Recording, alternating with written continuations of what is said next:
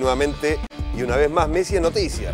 Es noticia y es el rey de Europa, el mejor jugador de la última temporada, indudablemente la cara de Cristiano Ronaldo, que otra vez perdió, eh, delata la felicidad del argentino. Indudablemente fue el mejor, eh, no solo por lo realizado en la Champions, sino porque tuvo un trabajo eh, individual importante en un equipo donde no encontraba su lugar a partir de la llegada de Luis Enrique tuvo que empezar de nuevo, lo hizo y de la mejor forma, ¿no?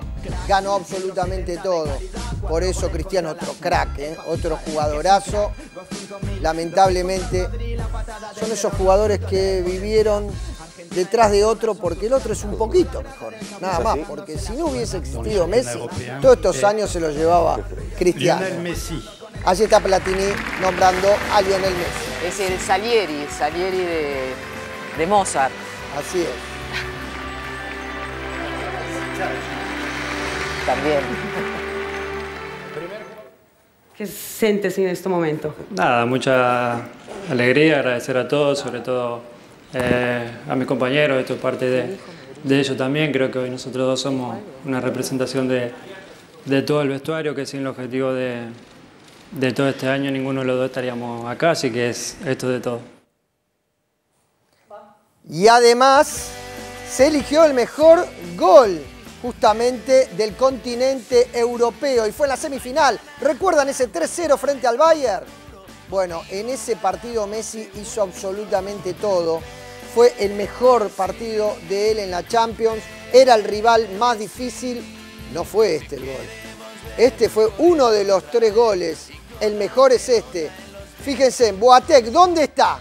Quebrada cadera, no, casi, casi. Pobre alemán, cómo lo hizo caer dentro del área. Una imagen que recorrió todas las redes sociales, recorrió el mundo con la felicidad del argentino. Esa contrapierna se engancha hacia adentro. Es fatal para este hombre que lo conocía muy bien.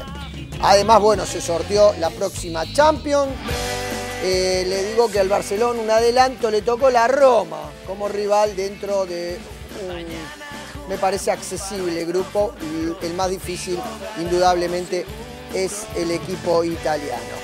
Felicitaciones para Messi que dijo, entre otras cosas, yo nunca renuncié a la selección ni dije que no iba a venir. Esto es muy importante para tener en cuenta que Messi no solo está metido, sino que es el capitán y que lamentablemente todavía no ganó ningún título a pesar de los tres mundiales, de todo lo que jugó, pero realmente está vigente y tiene solo 28 años.